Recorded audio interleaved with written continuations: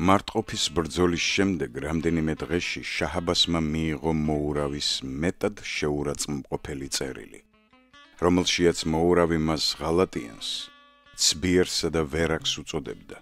ბრალს დებდა ყველა ბოროტებაში, რაც მას ჩაედინა. და ახლას წერდა მოურავი შაჰს.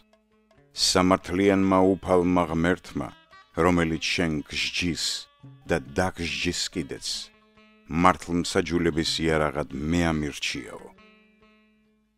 კლოდ მალინგრი, ფრანგი მოღვაწე, 1635 წელი.